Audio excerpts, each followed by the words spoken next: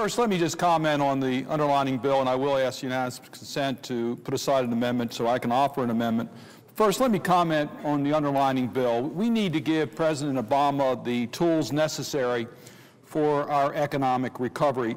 President Obama said two weeks ago in his inaugural address, the challenges we face are real, they are serious, and they are many. They will not be met easily or in the short span of time, but they will be met. And I think our responsibility is to make sure that he has the tools necessary in order to be able to deal with our economic crisis. The current status of our economy is worse than any of us have seen in our lifetime. The gross national product fell 4% in the final quarter of 2008. Our unemployment rates are at 7.2%. Uh, in regards to home ownership and foreclosure, I know my Republican colleagues had some discussion about trying to do more in that regard. This bill will save homeowners their homes. In my state of Maryland, we've had 41,500 foreclosures in 2008, an increase of 71%. Now, I need to point out, Mr. Pre Madam President, that last year it was the Senate Republicans that required seven cloture votes on the Foreclosure Prevention Act before we could take it up. Uh, at that time, 8,500 families were in some stage of foreclosure every day. The five-month stalling cost 1.2 million families to receive some form of foreclosure filings. The Republicans blocked amendments to provide additional funding for housing counseling and to let bankruptcy judge modify terms of subprime mortgages, which could have kept 600,000 families in their homes. So let me make it clear. We all want to preserve home ownership. We all want to prevent foreclosure. The underlining bill will help us get to that moment. But we should have done more earlier, and I regret that the filibusters prevented us from doing that.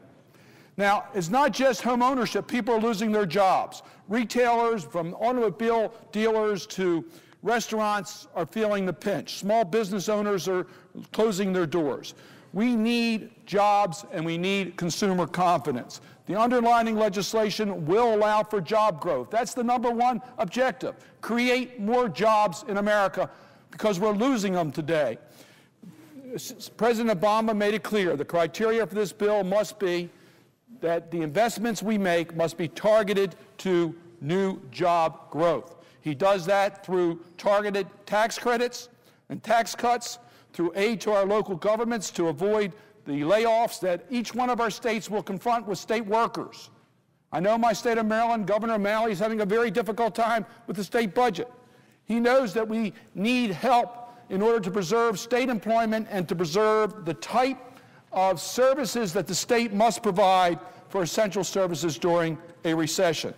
And this legislation provides direct investment for projects that are ready to go that will create jobs. But they're the right investments for America's future. And I, I, I don't disagree with my colleagues as we look at each individual request that is made here. There are no earmarks in this legislation, but we want to make sure that the right investments for America's future, whether it's improving education, educational facilities, energy so we can become energy independent, broadband so that we can compete in the future, health care technology so we can become more efficient in the way we deliver health care, our transportation system. I particularly mentioned public transportation, which is critically important for our communities, or whether it's preserving home ownership.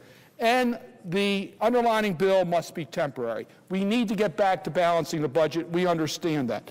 So what does this bill mean for the people of Maryland? Well, our state will receive directly $3.1 billion. We will receive $420 million for highways, $240 million for transit projects, $27 million for drinking water improvements, $96 million to improve wastewater facility plants, which is in desperate need in Maryland.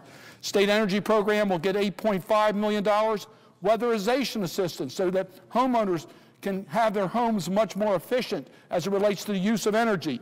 $56.5 million. Many of the infrastructures that are being improved by this bill are 30, 40, 50 years old.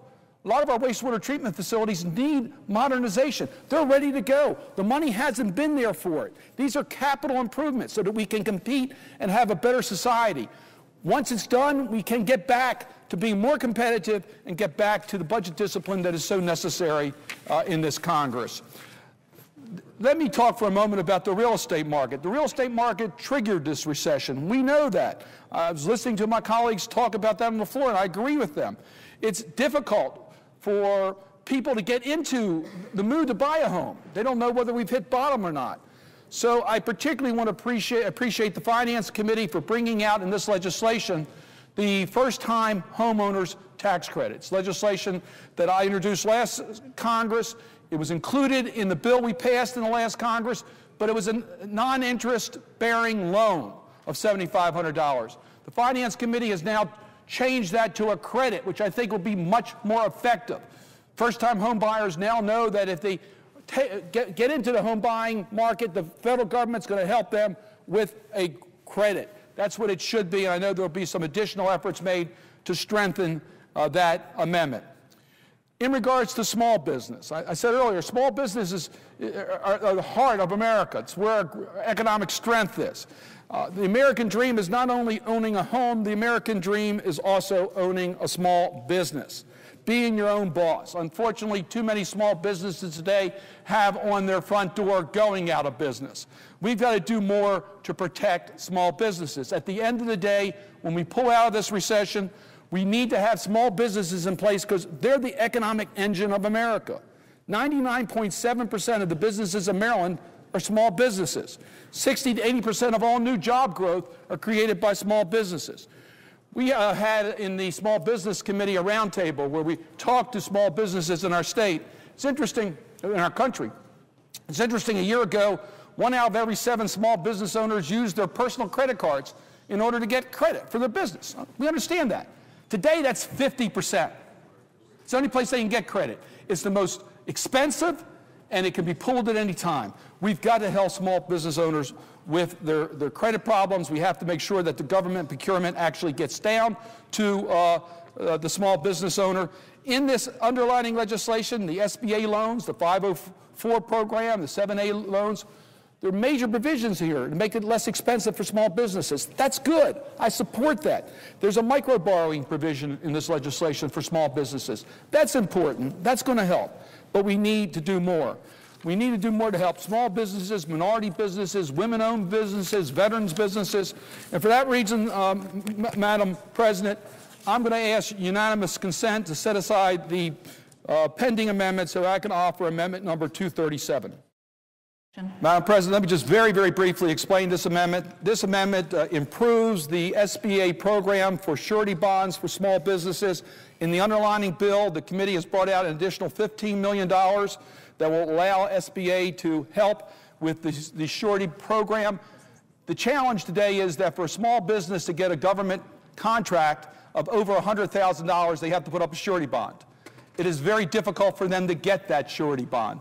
The SBA has a program to help them obtain a surety bond. The challenge is that the current limit is $2 million. Any contract over $2 million, the program cannot be used. Well, with the underlining bill and the types of procurement that we are anticipating, they're going to be larger contracts. And what this amendment does is increase the $2 million to $5 million. Secondly, in order to qualify uh, for a small business, your annual revenue must be below the federal guidelines or state guidelines if it's a state contract.